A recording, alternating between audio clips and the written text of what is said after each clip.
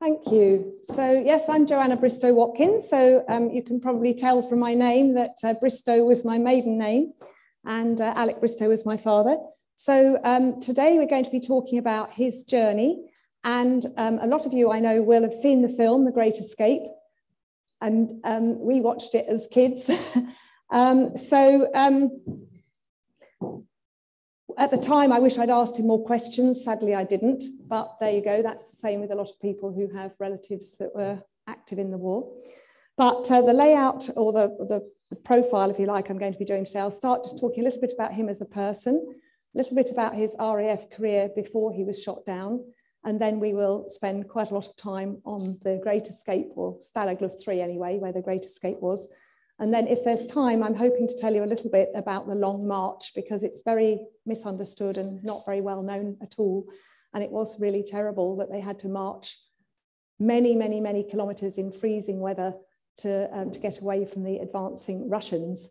So um, anyway, if we've got time for that, we'll cover that as well. So this is the story, one man's story of the Great Escape, which happened on the 24th of March, 1944. If you've seen the film, you'll probably be familiar with some of the things in it, and we'll be talking about which aspects of it were absolutely accurate and which were not. If there's time, that might even um, get relegated to the questions, I don't know. But we'll definitely be talking about what it was like in the camp and what actually happened on that day.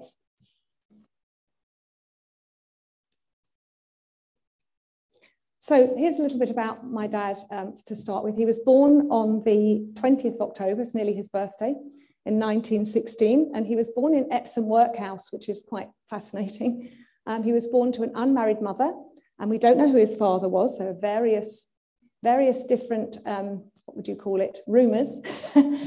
um, we don't know the answer to that. But he was brought up by his aunt and uncle, and they treated him as one of their own. They had seven children of their own, and as you can see um, from this picture here, they were a naughty bunch. you can tell by the look on their faces, can't you? And uh, this, this here is Alec um, when he was a young boy. And then his first job, he was employed as a bacteriologist chemist and he worked for Halls and Davigborough and they were down in Brighton. That's a picture of him working for um, Halls and Davigborough. He's in the front row. Okay, so he enlisted in the RAF reserves in 1939, February 1939, and it seems that he teamed up straight away with Bernard Marshall, who became his observer navigator throughout the entire war until they were shot down. Here's a picture of him in front of his Hawker Hart in 1938. And this is them all dressed for flying. And as you can see, there he is with his pilot's collar on. Dressed for the air. Okay, so he got married to my mum in 1941 on the 8th of June. Actually, my husband, who's here today, we got married 50 years later on their golden wedding anniversary, even though my father wasn't around then. But we kept the date special anyway. And um, he joined Bomber Command, 107 Squadron to start with, which was Blenheim's. And he had this same team for 32 raids, and that's what they call it. You might think, what's that TOD up there? It stands for Tour of Duty. So a tour of duty was about 30 sorties, or I think a certain number of hundred hours of, of flying time or whatever. But their first tour of duty was 32 sorties. And those three were together for all of them Bernd, Bernd Marshall, Leslie Broughton, who was the gunner, and my dad. And that's what uh, a Blenheim looks like if you aren't familiar with it. And um, they mostly did low level attacks on aerodromes. They did have one narrow escape where they got hit by lots and lots of flak and there was a lot of aircraft damage, but they did manage to limp home and everything was fine. Then in 1942, he was posted to Bovingdon to train US personnel. So this is not unusual. At the end of one tour of duty, what happened if you survived that tour of duty? And by the way, 50% didn't. So every time you went out on a sortie, you had 50% chance of not returning. And the average lifespan of a pilot in World War II was six weeks. So if you managed to survive your first tour of duty or your next tour of duty, then you did have a spell as an instructor for a while. So that was normal for, for him to go off and do that. So then we get a very exciting time um, in terms of aviation history because my dad was put to 105 Squadron, which was actually Mosquitoes. And the Mosquito was a brand new innovative plane. And we didn't realize until I was preparing for this talk that it was actually very prestigious to be invited to be a Mosquito pilot. You had to be pretty much at the top of your game. They just had a two-man crew, and you can see here that they they generally sat here, that's the cockpit there. And um, they had no gunner at all. So all you had was the pilot and the observer navigator. If you were attacked by a German fighter plane, you basically had to fly like a bat out of hell. That's the bottom line of it. And that's what they had to do. And luckily, the Mosquito was super fast. So, one of the first raids that was ever done on mosquitoes was on the Gestapo headquarters in Oslo. And my dad was one of the four um, on that raid. And uh, to tell you that the mosquito was amazingly made entirely of wood. And when it was first put forward by de Havilland, um, it was laughed out of the, you know, they told her not to do that. It was a ridiculous idea, but it got approved in the end. And thank goodness it did, because it was the fact that it was so light that made it so fast. It was often called the Wooden Wonder, and it could fly up to almost 400 miles an hour, which is pretty amazing. And so they were known for doing low level, super high speed attacks. And they had to go for low level to really keep away from the fighter planes. So just to tell you a little bit about what a typical sortie would involve, this Gestapo headquarters was 1,100 round trip miles flying time of 4.75 hours. And that was at that point the longest um, sortie that had ever been taken on a mosquito. It had four 500 pound bombs with just an 11 second delayed action. So that meant that there was a reasonable chance that you would actually be damaged by your own bomb if you didn't get away fast enough. And they crossed the North Sea at heights of less than 100 feet. So they were just 30 meters off the sea. And they used this technique called dead reckoning, which the observer was trained in. So they would learn how to determine exactly where they were based on velocity and what they could see in their eye line, rather than going by stars and landmarks, because obviously over a large period of um, desert or lots of sea, there's not many landmarks to look out for.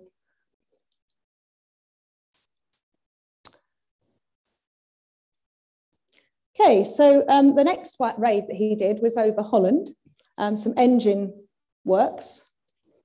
There's his plane again. And now this, is, this has gone down in history, maybe only to aviation buffs, but this was a very important flight because what happened was they got hit by some birds. So a flock of birds, curlews as they were, flew into his plane and destroyed the windscreen.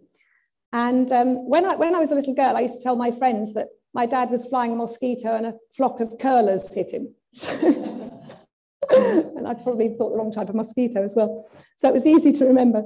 Anyway, he damaged his left eye. He told me afterwards, a long time afterwards, of course, because I wasn't alive then, but he told me that he thought he was dying. He, he went like that and he got the flesh of the birds on his hand and he thought it was his flesh. He couldn't see out of either eye at that moment. And for a very short time, he actually lost consciousness. Now, what you have to remember is that the observer navigator is not a pilot, so they can't fly. So as soon as he'd lost consciousness, the plane basically nosedived down, super fast, super fast speed. And um, the navigator yanked up um, the, the, the stick, and he did actually manage to stall the plane. So he managed to stop it from crashing but the plane apparently sat up and begged. So it was a very alarming thing that, that was seen, but it did, it did save the day. And um, he, he then, luckily, my father came round and he managed to straighten out the plane, but he still couldn't see anything. So I, am showing you this image here because I think it's really quite interesting as a collaborative effort. This is actually an image not from the same type of mosquito, but apparently it's very, very similar. So this here is what's going on here in the absolute nose of the plane. So this windscreen had been shot down and gone. The bodies of the birds had gone back and destroyed their radio, so they had no radio control either. And so the navigator had to climb down into here and lie along, so his face was here and he could see, His legs were coming up and kicking my dad's legs here in the cockpit. Two for left, one for right. And they managed to straighten the plane. And then my dad managed to see a little bit out of his right eye. And believe it or not, they managed to land the plane, perfect, a perfect landing on the third attempt. So that, that story is featured in lots of books about the mosquito, in particular the Wooden Wonder. And it was really that incident that led to the development of bird-proof windscreens, because before that, obviously, it was pretty treacherous. And he was subsequently awarded the DFC, although not for that, as it happens. but it did, it did go down on the, um, it was reported and written down in lots of important places. Anyway, after that, his next most important one was the 7th of November 1942. He flew off to the Gironde estuary to bomb some rubber ships. Another thing I had fun with when I was a little girl, as you can imagine. I was bombing some rubber ships, thinking they were ships made of rubber, not ones actually carrying rubber. So um, he left Marham, which is in Norfolk, at 12.50. And he was captured because he had to crash land. And this is what he reported in his diary about that particular event. The plane hit heavily by light flak during a 50 foot attack on a 10,000 ton blockade runner in the Gironde River at 1600 hours. Ditched near the shore by Royan, northwest of Bordeaux, at 1610 under the cover of several gun batteries of the Atlantic Wall. Believe it or not, no injuries. So they crash landed in the sea and they were very fortunate to both be able to wade ashore. Now, here's something amazing. That previous picture that I showed you about the mosquito I was provided with by an organization called the Pathfinder Trust, who are actually trying to rebuild a whole load of mosquitoes at the moment. And they, um, when I asked them for pictures, they said they had some. And unbelievably, this is a picture of my dad's plane when it was actually shot down the Gironde Valley. We didn't have any idea that there was a picture of it. And this picture was taken by a German and you can't really read it very easily there, but what that actually says is Englische Flieger bei uns abgeschlossen, which apparently means English pilot shot down by us. so there we have it. We have the record that we didn't know existed. Okay, so what happens after that when you were shot down, if you were a pilot, was you were taken to Dulag Luft. And Dulag Luft, there were a number of different Dulags, but he was taken to one in Oberursel. And there you would be interrogated now, what you have to bear in mind here is that the Mosquito had only been in operation for a couple of months. My dad was one of the first, in, well, first pilots um, to be flying it on any kind of mission. So you can imagine that they were very, very interested indeed from an interrogation point of view. Um, I'm going to show you a little bit about it. It looks pretty homely, doesn't it? Not. so that's where they were taken. I love the way it says POW on the roof there. Um, I presume that was actually to stop the Allied bombers from bombing it, to actually realize that they would be bombing their own people. Um, that is something that they did use to do. So Dulag Luft gets its name, shortened from Durchgangslager der Luftwaffe. And um, all the new POWs went there from April 1940. And if you were commissioned or non-commissioned, then you were you were protected by the Geneva Convention of 1929, which meant that you there were certain things they could and couldn't do to you. And the Geneva Convention basically said that you only had to give your name, um, your, your serial number, and your rank. That was all you had to give. But it was, it was commonly known that if you were captured, not just by the Germans, but if you were, and we probably did the same, to be honest, if you were, if you were captured, they would give you this form basically saying what were you flying, what squadron were you in, what was your mission, and they'd hope that you would fill it in and they'd get a nice lot of intel from it. So they were all warned to, that they would be given one of these forms and that they just had to ignore it. But um, it was a pretty unpleasant experience, and they were kept in solitary confinement for a few days to try and break them. And there were reports of, of situations where um, they would they, they would be just giving their name, um, rank and serial number, and then they'd they'd hear a shot outside or something like that, and they'd say, "I hope you will be more lucky like this." And so they were thinking they were going to get shot if they didn't give more information, but of course it was all a ruse. Um, because in actual fact, for the most part, the Germans were very good at keeping to the Geneva Convention. Um, anyway, uh, there was only so long you could keep them in solitary confinement under the convention as well. So this is a picture of what's called the cooler. So the cooler seems an Americanism. We never really refer to the cooler, but it does feature in The Great Escape, doesn't it? The cooler king. Um, so to us, that would be just solitary confinement, really. So that's where the solitary cells were, and they look pretty inviting. Wouldn't want to be in there. Okay, so he then ended up in Stalag Luft, which was in Sagan. Uh, it's now spelled Z-A-G-A-N, and it's in Poland, but um, then it was part of Germany. This is a very rough diagram that I drew myself because I couldn't find a copyright version to show you. So I just want to show you that when my father first arrived here, he would have been in this bit here, East Camp. And pretty much that was all that existed at the very beginning, but we're already in 1942 when he was shot down. So the camp was, was um, still um, relatively new. So he was there, he was in East Camp between 42 and, um, December 42 and March 43. So you can see he was a month, a month at Dulag, a month since he was shot down. And so, yeah, then he would have been in this bit here at East Camp. Then he was moved to North Camp in March 1943. So this is North Camp here. Now, North Camp is where the Great Escape happened. But at this time, in 1943, this West Camp and this South Camp, they weren't there. Okay, you need to remember that because it's quite important from the escape perspective. So North Camp here was on the far left, if you like, of the camp. This area here, which is described as German lager, I tried to look up what lager is, and of course all the dictionaries just told me it meant beer, which, which wasn't what I wanted to know, but I presume that was where the staff, the German guards lived. Um, and this is South Camp, West Camp came later, and that's East Camp and Centre Camp there. So now they had they, they had a bit of a laugh because they called the guards goons. And of course, we all know that goon is quite a derogatory term, and it was their way of being a bit cheeky and rude about the guards. But when the guards asked what it meant, they told them it stood for German officer or non-commissioned officer. So they got, they got away with it, basically. But the, it's really important to know about that because the Luftwaffe were very, very different to the Gestapo. The Luftwaffe were the German own air, air um, what you call Air Force, I guess. And they did have a sort of respect for each other. So even though I'm sure my dad didn't love being a prisoner of war, but he, he did, and there were guards that he detested, I know there were, but for the most part, there was a lot of mutual respect. And they, they did have some fun, as in, you'll see. um, and the Commandant, Oberst, that's the name, Commandant Oberst, the colonel, um, Friedrich von Lindeiner Wildau, or Wildau as they would have said, he was actually really honourable man. And he totally and utterly followed the Geneva, sorry, the Geneva Convention to the letter.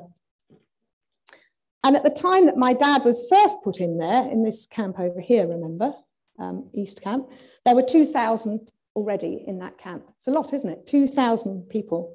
And by 1944, there were 10,000 because by 1944, we're talking about this whole area. And it took an area up of 59 acres, and the perimeter fence was five miles by then. And as I've already said, south and west didn't open until July 44. So what was camp life like? Well, first of all, food was not plentiful. So the recommended intake for a healthy adult inactive man, inactive because obviously they didn't have a lot to do, um, would still be 2,150 calories. They were getting 1,600, about enough for a small child. But they did have um, Red Cross parcels, both American, Canadian and British were all dropped there, and that helped a lot. There was also internal camp currency, and we've got some examples here. So this is from my, my dad's um, POW diary. These are actual examples of the Gelt, Lagergeld, sorry, as it was called. And um, at Stalag Luft 3, all of the Lagergeld was pulled. That meant that whatever rank you were, you still got a share, a fair share, an equal share. And there was something called Foodacco. So Foodacco was if you happened to have some personal goods have been sent to you by your family and you had too many of something, you could take it to the central store and you could barter it for something that you wanted more. And here's a typical daily menu. Breakfast, German bread with jam, and German bread is the very dark, sort of pumpernickel type bread with coffee or tea. They had a lot of coffee or tea, it seems. Lunch, thin potato soup with coffee or tea. Supper, potatoes and meat roll with German bread, coffee or tea. And the evening snack would be toast, coffee, or tea. What was it like in the living area? Well, they had 15 rooms exclusively for uh, living and sleeping. So this is actually a picture of Dad in his, um, in his room. And later these became triple bunks, but that, that came out in 1944. So at this point they were double bunks. And these are some of his friends, Ted White, Bill Greenaway, um, going up here. This is um, Dad. No, that's Dad. Oh, I don't know which one it is. I think that's in there. He does say, does he? Self? One. Where's one? he must be the one in the dark. That's him there. Right. Yeah, and Gordy King and Armand, who sounds French, but, but the others, I know Harry Crease, Ted White, and Bill Greenaway, they were all Canadians. And there were a lot of people from the Canadian Air Force in the camp with them. Their bunks were only two foot wide, and it's important to remember that. At the, bank, at the back of each hut, there would be two rooms for more senior officers. They would have single beds. Then there'd be one other room at the back of the hut, which had two facing toilets three larger rooms. The first was for cooking. The second was a communal washroom and laundry. And you'd also um, wash up in there your cooking pots. And the third was a recreational room that might have looked something like that. I'm assuming that's what that was, although it could be one of the bedrooms. Triple bunks introduced later. Okay, so camp life. Again, here's a picture of dad with three of his friends. And this is featured, it actually comes from a book by um, a guy who was nicknamed Shag Rees. And um, I don't know if he took the photo, but in his book, he describes them as the four rogues, which was a little bit alarming. But anyway, this is Gwyn um, Martin and my dad here, Alec. And this is Joe Red Noble, who was actually very, very prominently involved in the Great Escape. And this is a guy called Richie, who I know nothing more about. So, what else were they getting up to? Well, they had recreational facilities, they had athletics, they had football, they had boxing, they had table tennis, touch football, and fencing. My dad appears to have been the head of the Loafing Association, the Loafer Club, because this is a little poster he had in his diary of him shattering the record of walking around the camp fastest. And interestingly, the timekeeper here was, um, well, I, I, don't know that Jay McCaig, but the assistant timekeepers was Gwyn Martin and Joe Noble, who were in the previous photographs they had a very substantial library. So Hut 110 was actually dedicated as a library, and there were lots of educational facilities offering crafts, and some, some POWs did actually study for degrees while they were in the camp. There was a fully operational theatre, and that is really interesting because you may not know this, but the Carry On film started in Stalag 3. The guy who wrote the, the, um, the script for it was in camp with them, and a lot of the actors that were in it were as well. So Pete Butterworth was there, Rupert Davies, and various others who went on to become West End stars and, and TV stars. And the quality was amazing, and the Germans used to come and watch it too. and they had um, a station camp called Kriegi. I mean, that's that's how they spelt it, but but in actual fact, Kriegi was usually spelt K R I E G um, Y, or just, just with the E, because that was how you pronounce it in German. And Kriegi was just the German word, it was short for a German prisoner of war. So they were all called Kriegis, and Stalag was called a Kriegi camp. Their newspaper was published twice a week, no, four times a week, two newspapers four times a week. Now, they also had this really important thing, prisoner verification system. So what that was, was that in the same way as they would try and catch you out when you were being interrogated by giving you a form and hoping you'd give a lot away, it was, it was a common tactic that you might get a new prisoner um, sent to the camp who was actually not a prisoner at all. So he was a, a, an infiltrator who would try and find out what was going on in the camp, what escapes were being planned, and what sort of underhand secret things they were doing. And hence, if you if you were um, arriving as a POW, then you weren't given any information that could possibly give anything away unless you've been verified by several other people who'd maybe served with you or whatever. And if there wasn't anybody who'd served with you, then they, they'd just be kept at arm's length for a very long time until they proved themselves. And as far as we know, nobody managed to uh, trick their way into being told things that, that they shouldn't have done. Now, the other thing they did that was very sneaky was they had a duty rota. So you might be the duty officer, which meant that it was your job to know which goons, German officers, were in the camp at all times and where in the camp they were. So that was really important on the escape front because you needed to know where, where they might be. If they were anywhere near a tunnel, then obviously straight away you needed to resolve that and hide things. Ferret was the name that they gave to the tunnel, um, the officers that were looking for tunnels because they were obviously digging about and, and poking about, trying to find things. So that was the, the name that the guards um, were given if that was their role. So um, I'm just going back here to show you North Camp again. And just remember that at this point, there's nothing here, right, from the earlier picture. So here's what they decided to do. At the time, there were 2,000 POWs.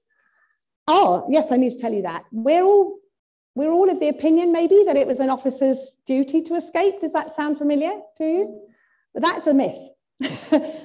That's a myth. It, it is actually true in America now, um, but that's much more recent. And it was implied in the, um, in the Great Escape film that it was the case. But in actual fact, it wasn't. But it was applauded because the, um, it was believed to be a good diversion. Remember that you were stuck in a prison camp, so you were doing nothing for the war effort. Now, if you could, if you could cause mayhem in that land, then you were doing something for the war effort. So it was, it was applauded on the point of view of being distraction and um, a waste of the, you know, the, waste of the Germans' times, if you like, because they were looking for escapees. And it was tolerated by the Germans. And, and it was part of the Geneva Convention that you were allowed to try and escape. So the only, the only way that you were legally allowed to shoot a prisoner is if they were running away when they were escaping. So if they, if they were caught escaping and they put their hands up and surrendered, the Geneva Convention protected them. But if they actually ran away, then you could shoot them. But you weren't supposed to shoot to kill, you were just supposed to shoot to maim and, and stop them. So, um, so having just um, told you that, I'm just going to quickly show you, because we can come back to this picture again, but um, there, here's where the tunnels are. That's Tom, so remember, that's the edge at that point. That was, that was woodland at the time. That's Harry, that was eventually built, came out of Hut 104. Um, and where is, oh, there's Dick. Dick came out of Hut, this one of these huts, one, two, three, or this one here, I think it started at. And then later, much later, they also built George, but we'll, we'll come back to that if there's time. But Tom, Dick, and Harry were the three that were all set at once. So that's the interesting thing, that this all came about. Well, yes, that's the set. I forgot my showing that. That's the set of the film, by the way. So we're just seeing it again, a three-dimensional version here. But it is important to set the scene here because um, I keep forgetting that I'm supposed to be here for the, for the film, but of course, and I'm blocking the screen more. Um, this is the model set used. So first of all, Stalag Luft comes from Stammlager Luftwaffe. Okay, so it's short for that. And the whole point of this was they knew that RAF officers were particularly ingenious and determined, and they acted very well as a community. So they worked well as a community. So this camp was specifically built to be escape proof. Okay, it seems a bit ironic for us because we obviously know what happened, but, but that was the plan. And um, it was partly because it had a very remote location. It was surrounded by woods, so there were woods all around here thick pine forests. The huts were built on stilts. So that meant that you could see when there was a tunnel. and the, the ferrets, which are very well named because they were crawling around underneath the huts, obviously could see signs very easily. And if they were going to dig a tunnel, they had to have an exit point from the hut itself to get down to the, to the ground itself. Do you see what I mean? So that was definitely a deterrent, 60 centimeters up. So the other thing was that the soil was bright yellow, not the topsoil. The topsoil was a dusty grey, but the soil, as soon as you went down a few centimetres or inches as it was then, it became bright yellow. So how on earth are you going to walk around with bright yellow sand all over you and not be noticed? And how are you going to get rid of that yellow sand without being seen? And sand meant that it was prone to collapsing because it's not a very substantial solid soil. So all of those put together made it hard enough, but on top of that, they put seismograph microphones around the perimeter. And that was listening for any kind of vibrational sound that was going on underground. So that sounded like a pretty thorough way of making it very difficult to escape. But Roger Bushell, when he came along, he's South African, um, he was a squadron leader at the time he was shot down. He'd already been a prolific escaper. He'd not managed to successfully escape. He'd managed to get out of the camps he was in, but he'd not managed to leave the um, occupied areas. Um, but when he was brought to Stalag Luft 3, he straight away decided that he was going to become Mr. X, if you like, Big X. And um, he set up the X committee, the escape committee. And they decided the best way of success was to, to build three tunnels all at once Tom, Dick, and Harry. Going back to the beds, do you remember I said, remember that the beds were only two foot wide? So, what they did was they took a load of the bed boards out and used those to shore the tunnel so that it would not collapse. So, they built a little frame inside the tunnel and because they were using those particular bedboards, the tunnel could only be two foot square, which is pretty small, actually, quite claustrophobic. They managed to create pulleys. This is a picture of one. So these pictures, I've got a few pictures that are much better drawn than mine. And these were all drawn by somebody called Ley Kenyon, who was a POW with Dad. And um, he, he created these images at the time, but he later gave them out to all of, all of his fellow POWs who he was still in touch with. So you can see what it was like to be in this tunnel. It was pretty cramped, but this pulley was quite a clever idea. So they built little, you know, they built little railway runners, if you like. And the, the, um, these would be made of the same sort of thing, bed boards again. They get wood from anywhere. You'll see later when we look at um, we look at what, what went missing from the camp when they finally did an inventory, and it was shocking. But they were, they were getting wood from all sorts of places. Uh, and they used these to, to transport the, the actual men themselves while they were doing the digging and also to take out the sand when they, when they created um, some to take away. The tunnel was managed by somebody called Wally Floody. He was a Canadian and he was an ex-miner. So he was really helpful on that front. And he said to avoid the seismographs, we've got to go down 30 feet before we start. And that's quite, quite something. Yeah. So that was how deep all of the tunnels were. Tom, Dick, and Harry were all 30 foot deep. And of course, they had to do the digging between Appel. So Appel was the roll call, and they used to have two a day. They had one at 9.30 and one at 5.30. And obviously, at that point, you couldn't have anybody missing. And the people who were building the tunnel, they'd have to be down there for many hours. So they had a rota, it was very organized, this rota of, of people in between the appel to just permanently have someone down there digging. And they tended to work naked as well, which seems rather bizarre. But I think they just felt because of the yellow sand, they'd have less chance of being discovered if it wasn't over their clothes. Plus, there was also the fact that it was quite easy to knock bits of the tunnel down if your clothing got caught and so on. So they tended, they tended not to wear any clothes. And believe it or not, they had progress of seven to eight feet a day. It's quite substantial. And it soon came to the point where it was actually really, really claustrophobic and the air was, was difficult down there and it, they could have been suffocating. So they thought we're going to have to put in a ventilation system. So that's what they did. They created some bellows and they built, they used to have um, the milk, which became, it's called Klim, milk backwards. So the, the, um, the Red Cross used to give them Klim tins. And so they, they took all those tins and put them, obviously took the bottoms off, put them one on top of each other. So they created a whole tube and that was how they created the ventilation shaft. 600 men were involved in the digging, mostly British, Canadian, and American at this point. And we can see here another one of um, Ley Kenyon's drawings. You can see them climbing down. And of course, from there, they'd have to drop down the 60 centimeters below the, the um, stilts. And they'd have to keep the cover on whatever was on the ground underneath there so that the ferrets wouldn't notice it when they when they went, when they went down.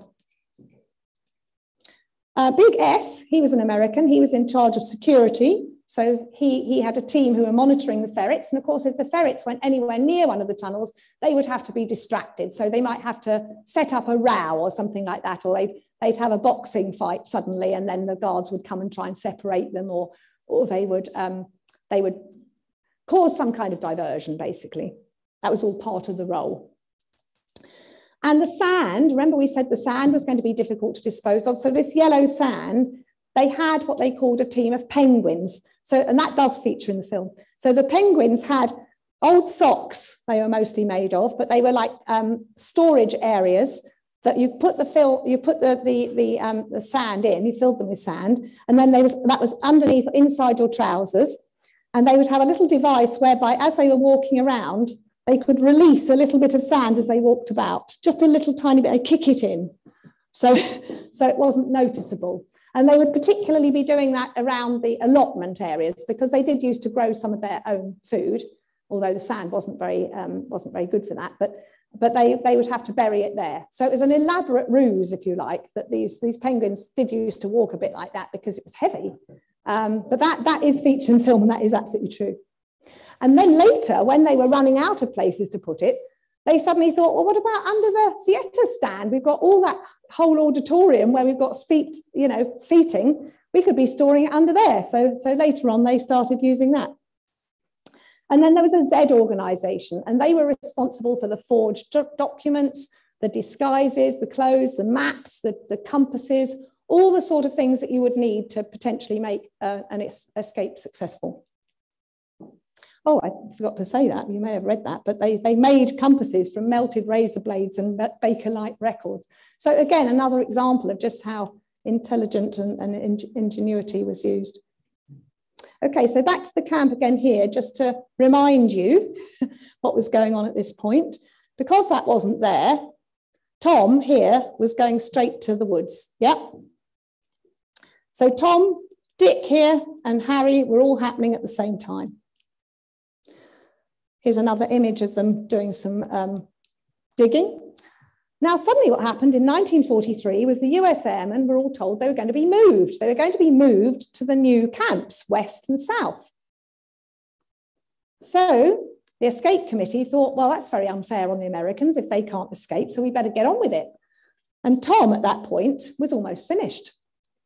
So they started working on Tom as quickly as they could. And then right at that moment, the Americans had been told they were going into south, right? But they then started clearing for west. And guess what that meant?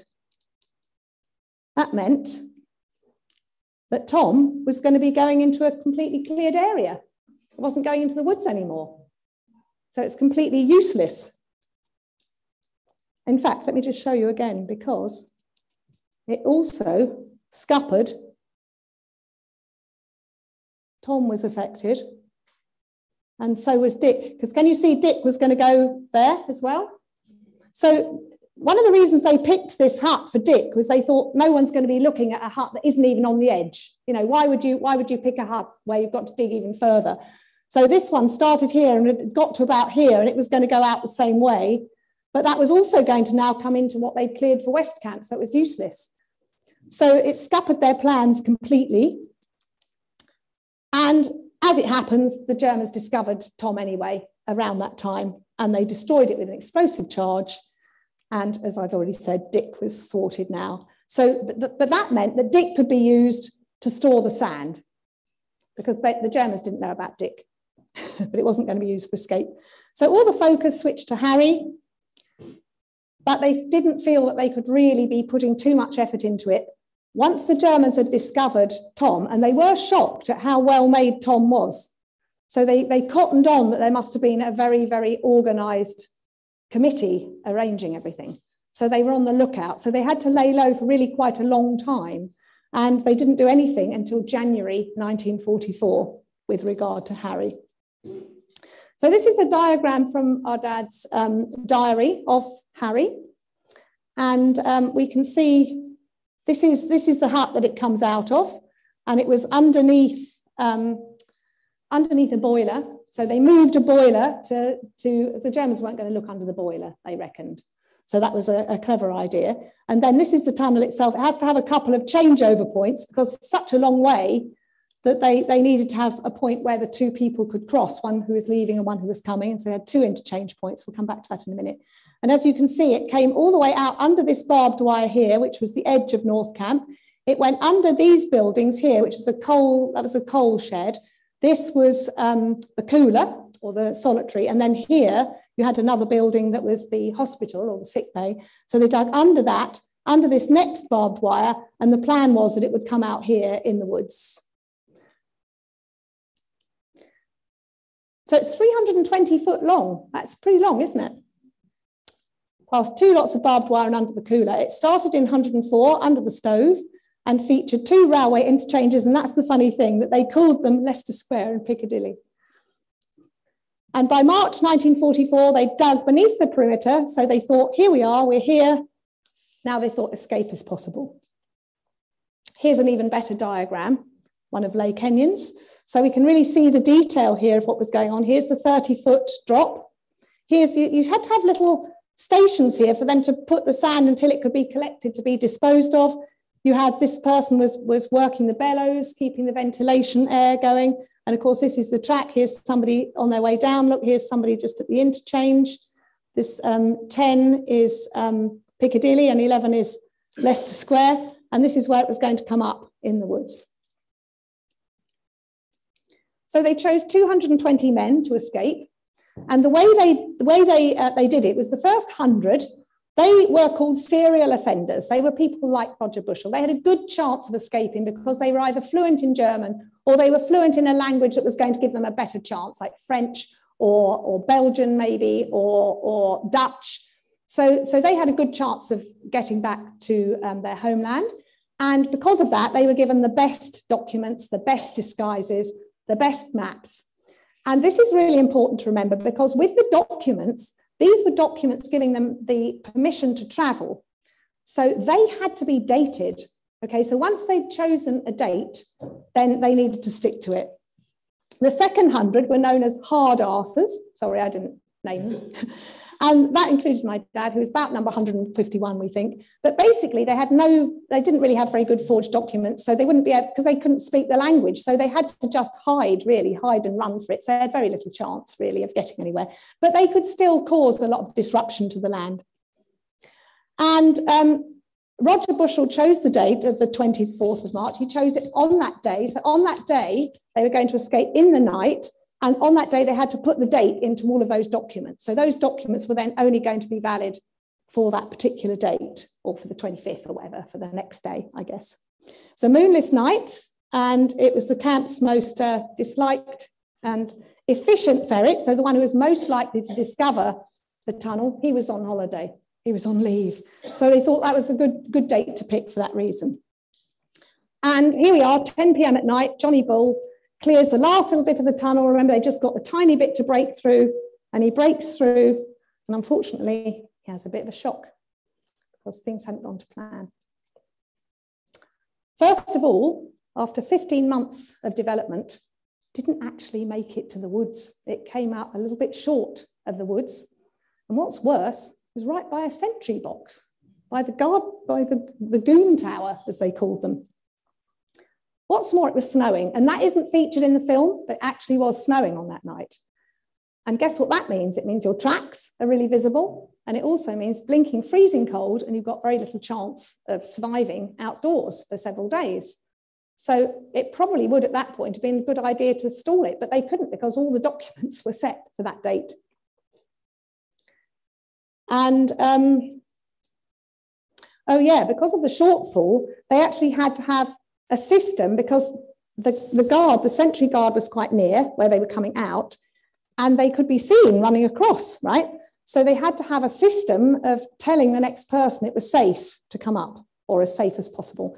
So they had to organize some rope and then somebody ran into the trees and hid in the trees and the rope went down into the tunnel and they had a little signal, something like two pulls for stop, um, one for go, right? It's very simple, but, but they had to have a system. Then an even bigger problem, there was an air raid and then there was a power cut.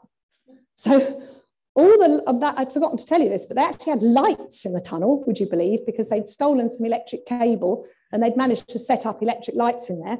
But the bad news with that was when there was a power cut, it was plunged into complete darkness. So people in the tunnel didn't know what on earth was going on. And it really delayed things because they, they were only getting out 12 an hour and they were planning on one a minute. So it was significantly down on, on plans. And because already by now a lot of the evening had gone, they had, they had um, realized that they would have to stop at curfew. They had to, they had to be ready for you know, various things. So they thought we're not going to get everyone out. So the second hundred were told, don't bother, don't bother going to get ready, just forget it, right? Because curfew meant that they couldn't be seen outside the huts. And obviously you had to go from wherever your home hut was to the one where the tunnel was. So they would, couldn't be seen out at that time of night. By dawn, 76 men had made it into the trees and the 77th was poised to go. And that's the, the rope, right? So that's the guy in the woods signaling. So this is the point at which they were discovered. A patrolling sentry deviated from his beat. The person in the woods put the signal to stay put, and the 77th person misread it as go. So he came running out practically right on top of the sentry, unfortunately. He'd first noticed the tracks and then he very quickly noticed the POW. He fired a warning shot and he blew his whistle. A few of them outside the tunnel made a run for it. The person who was in the tunnel came out and the two behind, because there were loads already backed up, you can imagine, they thought, get back as fast as we can, block the entrance and burn all the documents and, and get rid of the, the costumes, and, you know, because they could be in big trouble. So that was their focus next was to get rid of the evidence, basically. And they, they ate all their rations as well that they were supposed to be taking, pigging themselves so that they didn't get it taken off them. Uh, shots were, were fired. The ferrets couldn't find the tunnel entrance. And in the end, um, Charlie Pilts, who was one of the ferrets, he, he went down from the end where they discovered the escapee and he walked back up the 320 feet. He couldn't get out because, of course, they blocked, they blocked it. And they could hear him in there and they thought, oh, I suppose the game's up, you know, we better, better let him in but it bought them a bit of time to get rid of stuff anyway. And because of all the delays, because we had the, um, well, as you said, the power cut and everything else, the fact they didn't get out when they should have done, you had all sorts of escapers who couldn't use their documents because they'd missed the train that their documents were all set up for.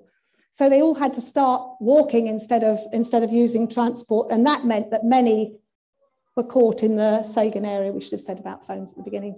Sorry about that. Right, can you turn it off? right, okay. And the aftermath was that the, um, despite the escape route nature of the camp, um, you know, to get 76 out was pretty amazing, frankly. And it still remains to this day the, the greatest escape in World War II and one um, in terms of numbers. Um, not surprisingly, Hitler was pretty furious.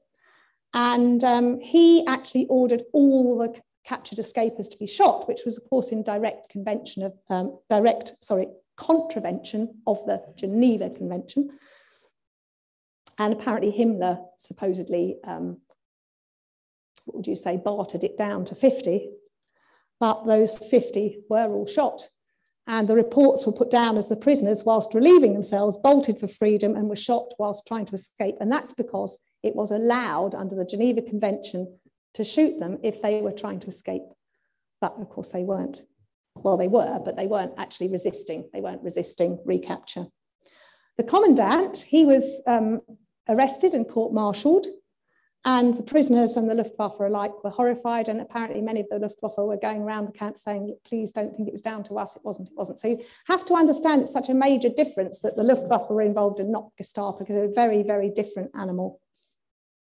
Of the 77, 50 were executed, 19 were returned to Stalag Luft 3, six were sent to Sachsenhausen, which of course was um, um, a, a, pretty horrible camp, wasn't it? Much worse. Two to Colditz, another escape-proof one, supposedly. And only three, three made it back to England, and two of those were Norwegians and the other was Dutchman. So um, after the war, the Gestapo were held to account for the atrocities of killing the 50 tried as war crimes. Okay, so immediately after the tunnel, those remaining in the camp were made to stand naked outside for about four hours or two, two hours, but it was snow. So that was pretty horrible for them. Um, and that was a bit of a punishment, but also that they were being strip searched, obviously, and everything. And not only that, they were deliberately trying to mess up the appel because they didn't want it to be obvious who was missing. So they were all swapping places and probably saying yes to the wrong names and all sorts. So that probably didn't help their case with how long they were kept outside. Um, everyone was very shocked. Um, Alec, he, he wrote all the names of the 50, and what they did, their age, and, and what had happened to them. It was very sad. And he noted the ones that came in the same purge as him. And the new commandant was much stricter. There were all sorts of Gestapo investigators everywhere. So they were all, everyone was edgy. And um, finally, or later, the POWs were allowed to build a memorial. And in fact, the Foreign Secretary acknowledged it all in the House, House of Commons on the 19th of February. Um, and eventually, would you believe, after all that, because they'd been warned that don't try escaping after that, they still started work on George, but, but it never actually went anywhere. Um, so we don't need that because I think I did show you. So, so the thing with George was it was here, but this was a little bit of woodland between the camps. So I guess they were aiming to just come out there and get out. So they were very, they were very determined. We'll give them that. Okay, here's some shocks. This is what they'd taken from the camp with getting away with it. 4,000 bedboards, 1,317 beading battens, 1,212 bed bolsters, 52 20-man tables, 10 single tables, 34 chairs, 76 benches, and they were all used to shore up the tunnels. Wait for it, there's more. 3,424 towels, 635 mattresses, 192 bed covers, and 161 pillowcases to muffle the sound. 1,219 knives, 30 shovels, 478 spoons, 582 forks, 246 watering cans, and 14,000 powdered milk cans. They were all used for digging, ventilation, and 600 foot of rope, 69 lamps, a 1,000 foot of electricity cable, and they'd all been hooked up to supply lighting. It's quite incredible, isn't it? Yeah. Okay, so um, I'm actually run out of time pretty much. If you, because uh, we started only very little bit late, but do you want me to continue? Because I have got more, but that's the end of the actual Great Escape part. But I've got some about the evacuation of the camp, which is that the general consensus? Okay, right. So um, on the 12th of January, there were lots of rumours that the Russians were very close to the camp. And um, at that point, they began their great offensive, and they were only 200 miles roughly from Sagan, 300 from Berlin. So they started to have rumours inside the camp that the, that the camp would be evacuated. And they didn't really believe it because they weren't sure how possible that would be. But um, in his diary, Dad notes that he and some of his, his mates, they got to work on making backpacks just in case. So at the end of January, they were less than 12 miles away and the sound of battle was constant. And then Hitler um, ordered evacuation on the 27th of January, and the POWs were told to prepare to march that night, perhaps within the hour. So it's pretty short notice. And um, anything that's in, um, in italics is, is from my dad's diary. Um, so pandemonium was widespread. We ate as much food as possible. We hurriedly packed our bags. For my own part, the previous day I'd washed a set of heavy underwear and six pairs of woolen socks. The socks were almost dry, but I had to discard the former because it wasn't dry, obviously. A bit annoying because it was cold. Anyway, here's what he took a pair of trousers, a set of combinations, six pairs of socks, two shirts, one pair of shoes, a towel, toilet requisites, one pound of tobacco, 200 cigarettes, two notebooks, two sets of lightweight underwear, two packs of cards, two pipes, six boxes of matches, a service duty cap, a knife, fork, spoon, and enamel bowl. And he says he was wearing his heavy underwear, two pairs of socks, heavy boots, sweatshirt, scarf, balaclava, two wool sweaters, tunic and greatcoat, two watches and pockets full of odds and ends, soap, cigarettes, gloves, and a penguin book, The Life of Nelson. All his available food was packed into two suitcases, which they aimed to carry on long poles. And after various delays, they finally passed through the camp at 1.15 on the 28th of January in batches of 150. On the way out, they received an unexpected benefit of a Red Cross parcel. And actually, you could take more if you could carry it. And Ted Muggeridge apparently took two. And that took their individual load up to 30 to 40 pounds each, plus about 80 pounds on the poles. And bear in mind what they're wearing as well. So that's A, heavy, and B, not very easy to maneuver in. Now, the weather was bitterly cold, And it was a clear night with brilliant moonlight. Okay, so this is just some facts. This is not out of his, his diary, but I'll move on to the diary then if you want me to finish. Over 10,000 men marched through the gates that night. The conditions were extreme, sub-zero temperatures, thick covering of snow, and it was said to be one of the coldest German winters in living memory. The column stretched for five kilometres. The men marched hour after hour with only 10-minute halts. And the POWs were not the only ones on the road that day. Lots of the, um, the people who lived in the eastern parts of Germany were all evacuating because they were very afraid of the Russian reprisals if they were caught up with. And so there were lots of people on those roads, most of which were POWs, but lots of other um, evacuees as well. Okay, so these, these are all from Dad's diary. Um, and as I said, if you, if you do want me to just give you a flavour of the sort of things that was, was happening, this is just reading for extracts. Um, and we don't need to be using the slides, we'll just go to the end. The German guards were spaced about every 10 yards along each side of the columns. We understood that our destination was to be Halbau, a town 17 kilometres away, and our total march would be about 70 kilometres, which you can imagine in all that they're wearing and carrying all those things. Um, and then they would be moved somewhere else. For the first few miles, both sides of the roads were lined with discarded baggage, greatcoats, boxes, tins, etc. The local civilians must surely have had a field day when they woke up. Our party of eight discarded nothing. We picked up odd pieces of string and sheets and lashed our parcels onto two more poles. Later, we found parts of a suitcase and attached string to it for use as a sleigh. After a few short rests and much sweating, we arrived at Halbau, where we were told that a stay of an hour would be allowed for eating. It was 7.30 a.m. Remember, they'd left about 1.30, so they'd been trudging for six hours through the night in that sub-zero weather. The weather had turned very cold, and after about 10 minutes, we were all chilled through. However, we consumed a portion of frozen corned beef together with some bread and a chunk of margarine in a similar state of solidity. A German Frau in a nearby house supplied us with hot water, which we drank as it was and paid for with fags and soap.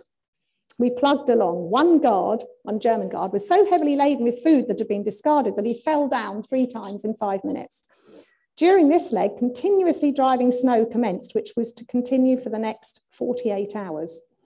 Eventually, we reached Freiwaldau, having completed 28 kilometres in about nine hours. Bill Greenaway got cracking on a sledge for our party, ably assisted by the rest of us. It was bitterly cold and about two o'clock on a Sunday afternoon. The sledge was a tremendous improvement. We took turns in pulling, two and pushing two men with poles as we pulled out of the town we passed members of west camp sleeping in the snow by the wayside i've never yet spent a night as cold as that one but managed to doze off for an hour or two my feet were so cold that i decided to put my boots on in the middle of the night an almost impossible task as the leather was frozen iron hard next morning we had hot water at seven and after the usual frosty meal got away at eight about this time, we discovered our tin of rolled oats had been robbed of its contents, a heavy blow to us, as porridge is one of the great luxuries in this land of poverty. We had tramped 63 kilometres in 41 hours, including 15 hours in a barn, humping a heavy load under the most difficult conditions. Personally, I was completely and utterly exhausted. So, I mean, that went on for another few days. And in fact, if we go to slide 40, you'll just see an image of them doing the march. And since leaving Sagan, a week had passed, during which time we'd now walked 96 kilometres to Spremberg in three days of marching. Many had fallen sick by the wayside with pneumonia, pleurisy, frostbite, and old injuries reasserting themselves. And uh, in fact, one, um, number 41 just shows the map. So that's the complete journey, but some of it was by train. But, you know, they were in a pretty poor state. The final 300 kilometers was in a cattle truck. Yeah, and many, many were very, very ill by then. So after that, he was moved um, to various other camps, and um, we'll, we'll just um, go on to the next slide. Yeah, these are the various places that he was moved to. And he arrived back home on the 7th of May. Picture, the final one on that one is a picture of the diary with him arriving back via Brussels, I think. And there he is, at the airport of Brussels. And he, um, he was demobbed in 1945. Yep. He joined, rejoined the Air Force in 47. He ended up leaving as a squadron leader. He was a BOAC and then a BA um, pilot instructor, and he started Alec Bristow Travel in 1963. We had first shop in Chertsey, then two in Woking um, and Esher, and uh, Walton on Thames. Yeah. So um, I wanted to just tell you that the Alec Bristow travel poster and cinema advertising campaign, don't know if any of you remember, it was a hot air balloon and it used to say, the great escape begins at Alec Bristow Travel, um, which was obviously lost on most people, but, but rather fun, yes. And he ran his travel agencies until he died. If you want to go on to the final slide, it's a little poem that he wrote in the camp. Lines written in the sunshine on the 25th of March, 1945 at Tarmstedt Sing on, sweet lark, delight me with your music. Your freedom holds the essence of my dreams. High o'er my captive soul, you preach of beauty, winging it back to England, shady streams and other glories sacrificed for duty. Thank you.